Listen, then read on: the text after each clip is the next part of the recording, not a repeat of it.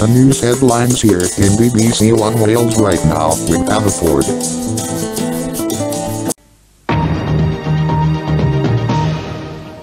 Good morning. One of Tony Blair's official spokesmen has denied that there was a strategy to reveal the identity of Dr. David Kelly.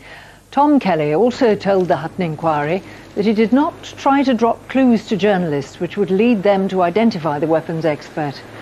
Universities are being asked to find new ways to encourage students from poorly performing schools and poorer homes into higher education.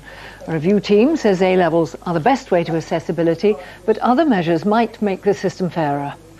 The former world heavyweight boxing champion Frank Bruno is being treated in a psychiatric hospital in northeast London. He was taken there from his home in Essex by police and ambulance crews. The Liberal Democrats say they'll scrap the council tax if they come to power.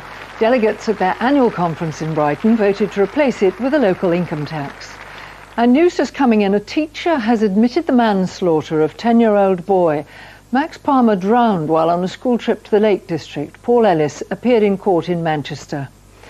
And the weather, showers in northern and western areas should become lighter and less frequent, and sunny periods in some parts of the south. That's it. More news in an hour.